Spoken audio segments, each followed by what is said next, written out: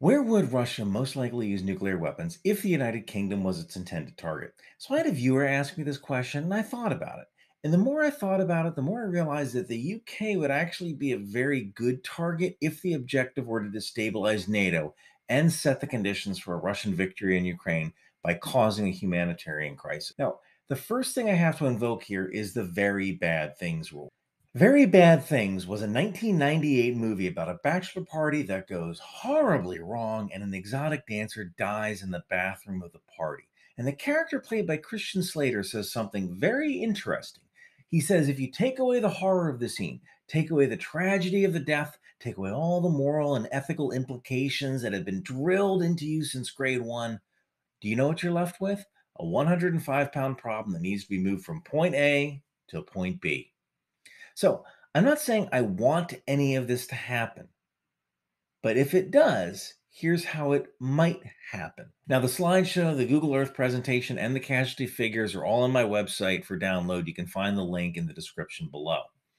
I have to give credit to NukeMap by Alex Wellerstein, who made a lot of the technical data available online. Without him, this would have been a lot harder to calculate. And I have to start by talking about delivery methods. Now, there's basically two delivery methods. There's airburst, which is good for blast effects. It distributes the energy of the nuclear detonation across your target so that you get good blast and thermal effects on your target. And then there's a ground burst. This is mainly for hardened targets and area denial. Now, Airburst creates blast, thermal radiation, and prompt ionizing radiation all over your target, but it's not very dirty. It doesn't have a lot of long term radiation. Whereas a ground burst has blast, thermal radiation, and ionizing radiation, but it also has that mushroom cloud. That's because the fireball of the explosion touches the ground and sucks all that dust and dirt and debris up into a cloud. And that cloud then falls out. Fallout is called fallout because it literally falls out of the sky, this big, long radioactive trail of debris. Now, let's talk about Russia's operational intent. What does Russia want to get out of a nuclear strike in the UK? Well, the first thing they want to do is they want to disempower NATO. They want everybody in NATO cowed and wondering if they're going to be next on Russia's hit list. The second thing they want to do is create a humanitarian crisis in the UK. The third thing they want to do is cause maximum infrastructure damage. The fourth thing they want to do is minimize loss of life. There's a very specific reason for this. If you have a lot of people who are left alive and they all need food, water, and medical care, but their infrastructure is damaged, that means the rest of the world has to come in, cross an ocean, and use a lot of resources to take care of the people of the United Kingdom. Every resource that is being used to take care of the people of the UK is not being sent to Ukraine. And the fifth thing they want to do is minimize warhead expenditure. That way, there are more warheads to strike back if Russia is counterattacked. Now let's talk about the strike platform. This will probably be done by one Bory class ballistic missile submarine, most likely in the Kara Sea. This will minimize the UK reaction time. The strike package can consist of two SSNX 30 SLBMs or submarine launched ballistic missiles. Now, each missile contains six warheads. This is called a MIRV or multiple independent reentry vehicle. We're going to have a total of 12 warheads in this strike package, and there'll be mm. 10 targets, with two targets getting an additional warhead. Now, there is precedent for a small number of missiles increasing reaction time. I want to introduce you to a very special person. This is Lieutenant Colonel Stanislav Petrov, the man who saved the world. You see, back in 1983, Soviet radar reported that the US had launched five missiles against the Soviet Union.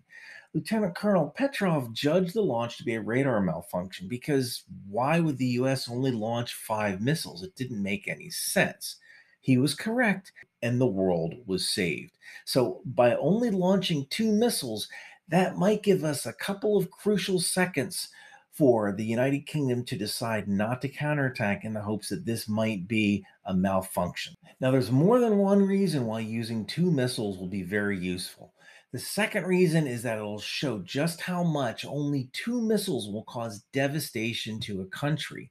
Remember, the goal here is to cause a humanitarian crisis on an island, which is harder to get to, harder to respond to.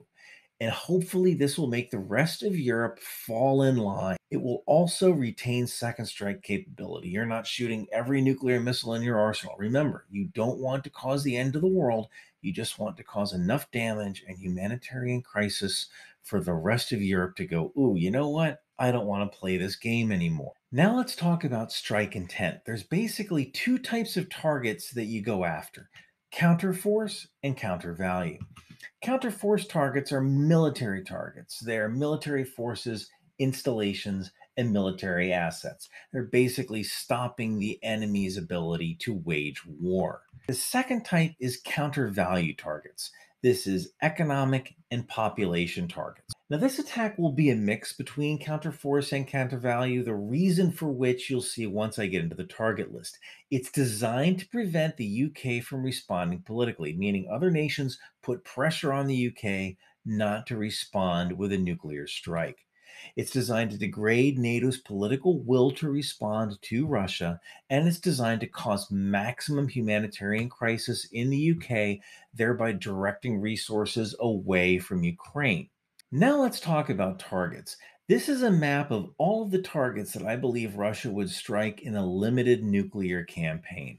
And we're going to start with RAF Fylingdales. This is a very important target because it's going to set the stage for destroying other targets.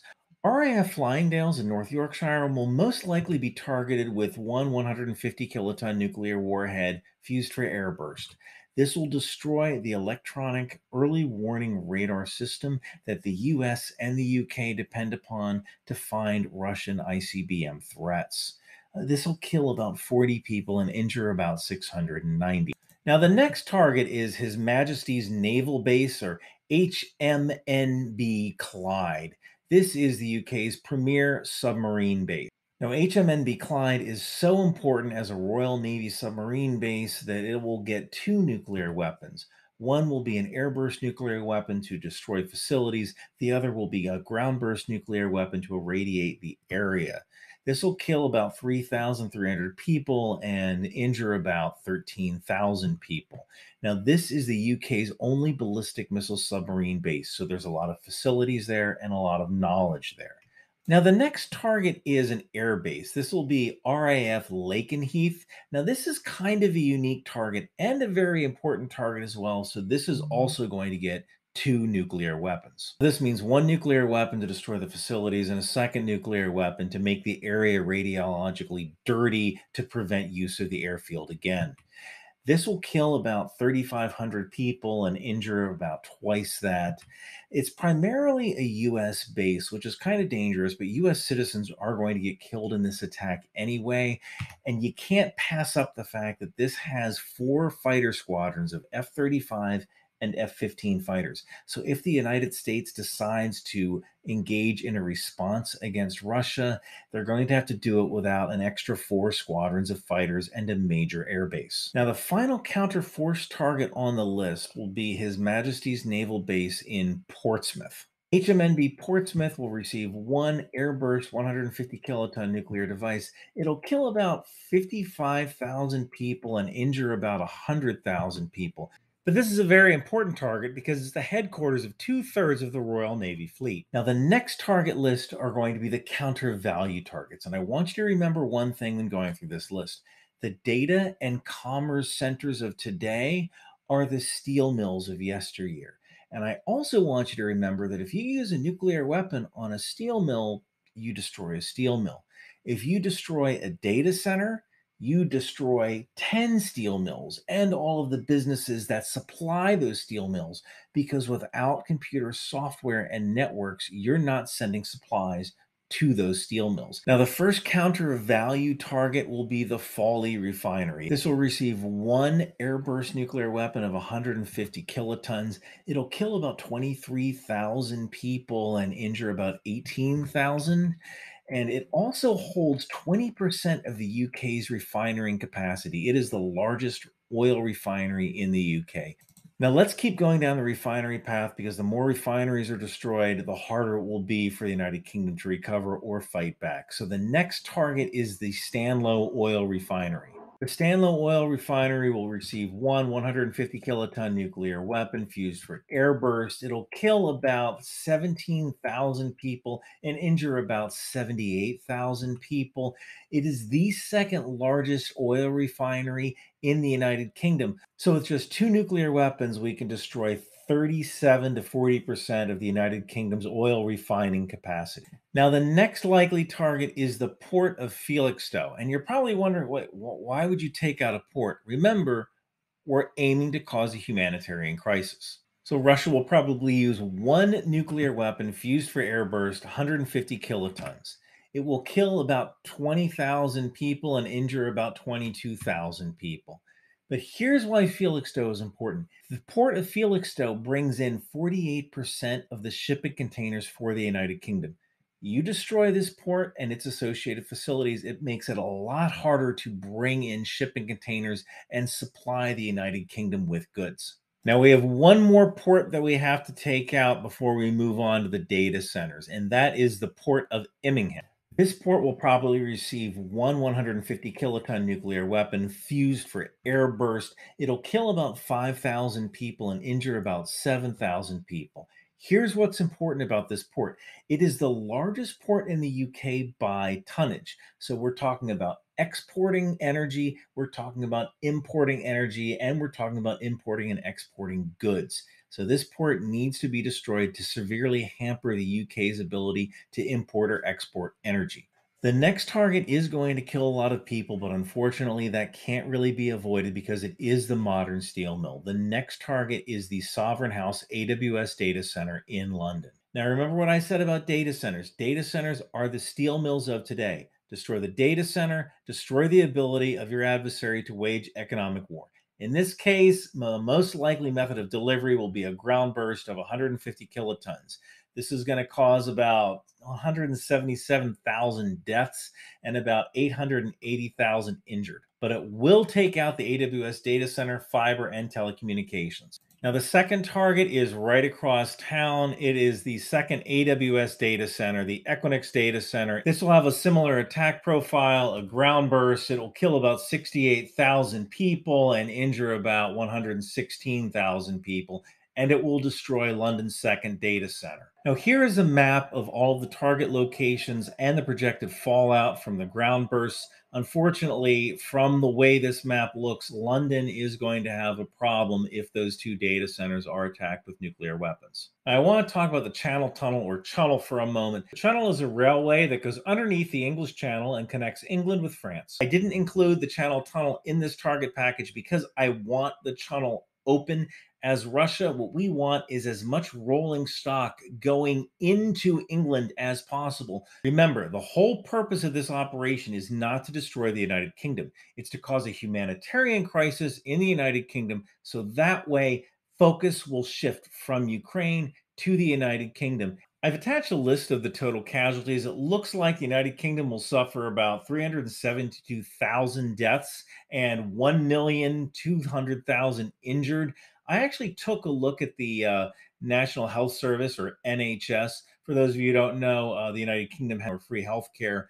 Uh, there are approximately 129,000 total hospital beds in the UK. So that is roughly 10% of what would be needed for all of the injured. So this would create a huge humanitarian crisis that the world would have to respond to. So let's talk about the global response to a Russian nuclear strike on the United Kingdom.